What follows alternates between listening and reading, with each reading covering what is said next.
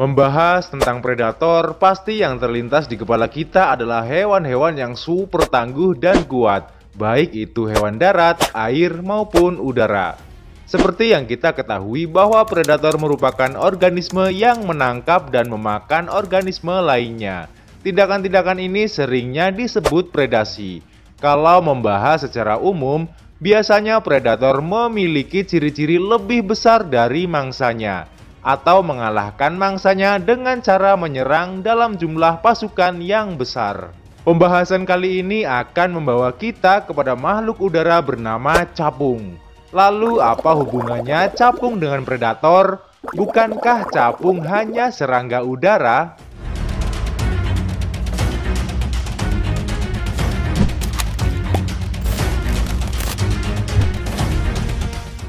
Selain Antartika, di belahan bumi ini terdapat sekitar lebih dari 3.500 spesies capung yang diketahui, dengan tampilan visual yang sangat bervariasi.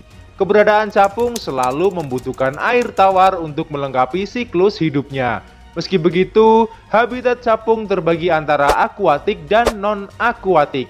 Umumnya, capung menghabiskan waktunya dengan cara berkumpul dengan kelompoknya. Namun, faktanya capung terbagi dua jenis kelompok, di mana satu kelompok untuk bermigrasi dan satu kelompok lagi untuk mencari makanan. Makhluk yang tampak ringan ini dapat terbang dengan kecepatan 34 mil per jam dan uniknya capung mampu terbang ke belakang.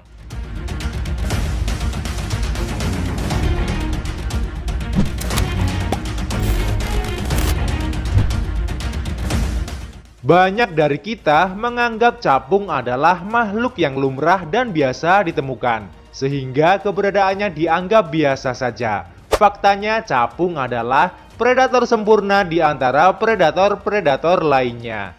Secara visual, tampilan mereka sangat unik, cantik, dan tak berbahaya bagi manusia.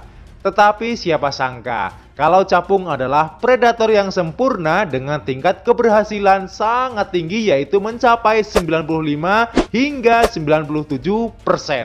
Angka ini mutlak mengalahkan predator di kelasnya seperti singa, harimau, falcon, anjing liar Afrika, dan lainnya.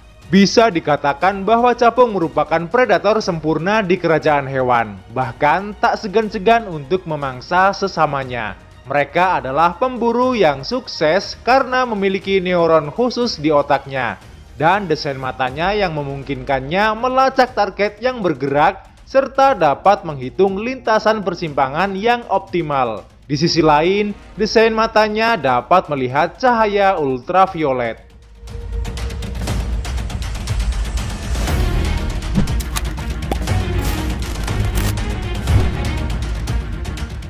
Membahas serangga udara satu ini tampaknya akan panjang lebar. Dari mulai keahliannya menyelam di dalam air, melihat cahaya ultraviolet, cara berburu, terbang melayang, bahkan terbang mundur dan terbalik. Berputar sekitar 360 derajat dengan tiga kali kecepatan sayapnya. Tak heran jika capung mampu bergerak lebih cepat dengan kekuatan yang jauh lebih besar dari ukuran tubuhnya. Teknik berburu pada capung berbeda dengan predator lainnya. Saat melancarkan aksi berburunya, biasanya capung datang dari arah yang tidak disadari oleh mangsanya. Sistem saraf pada capung mampu fokus dalam menargetkan mangsa yang dituju. Sekalipun mangsa tersebut terbang di tengah segerombolan mangsa yang lain yang sedang terbang di udara. Ketika target mangsa siap ditangkap, kemudian capung dapat menangkapnya hanya dengan hitungan detik. Setelah itu, capung akan memegang mangsa dengan kakinya dalam posisi terbang di udara. Perlahan, capung akan mulai merobek sayap, memenggal kepala, kemudian mencabik-cabik tubuh mangsa dengan ketajaman rahangnya. Dan seekor capung pun tidak perlu mendarat ketika menikmati mangsanya.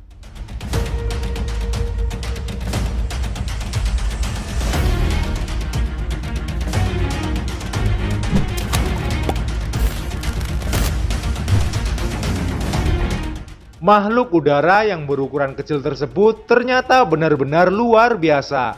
Mungkin sekelas singa dan hiu putih adalah predator tingkat atas.